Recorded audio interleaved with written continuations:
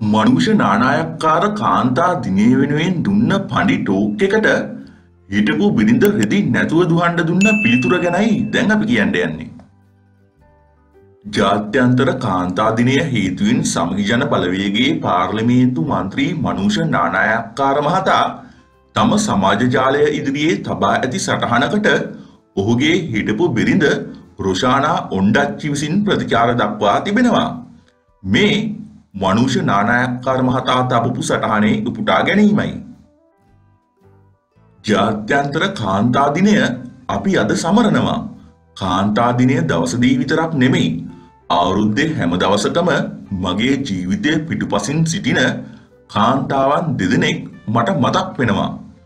එක් අයෙක් තමයි මගේ අම්මා. අනික් කෙනා තමයි මගේ බිරිඳ. දේශපාලනය කිරීමේ වර්දට මට මගේ පියා අහිමි වුණේ මට අවුරුදු එකොළහෙදී. එතකොට මගේ මල්ලි ගොඩක් පොඩි.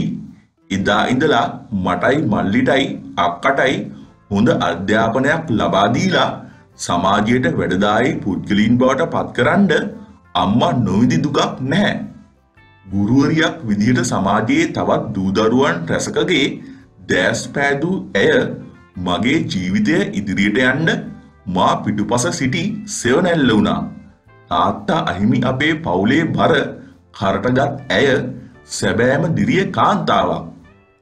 කාන්තාවන්ගේ දහිරය ඒ තරම් ශක්තිමත් සමාජයක් විදිහට අපි කාන්තාවන්ට නිසි ඇගීම ගරුත්වය ලබාදිය යුතුමයි.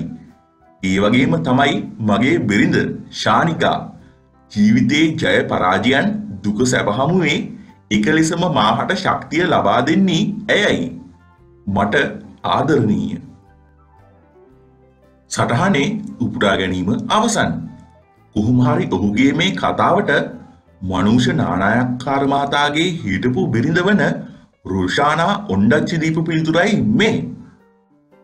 මම කාන්තාවක් නෙමේ. ඔයා ඔයාගේ දුව චූටි කාලේ දාලා ඇද්දි මතක් වුණේ නැද්ද? ඔයාට සල්ලි නැති කාලේ ඔයා ජීවිතයේ දුක්විඳපු අමාරුම කාලේ ළඟින් හිටියේ කවුද? සල්ලි බලය ලැබුණට පස්සේ නේද ගොඩක් අය ඔයාගේ ජීවිතයට ලං වුණේ. ප්ලීස් මට මුකුත් ඕනේ නෑ. දුව බලන්න. උපුටා ගැනීම අවසන්. හොඳයි ඉතින් කොහොමරි හැමෝම Tamanගේ පෞද්ගලික ජීවිතයයි ඒත් සමාජයට පෙන්නන ජීවිතයයි ගැන ඔයාලගේ අදහසත් කමෙන්ට් එකක් දාගෙනම යන්න.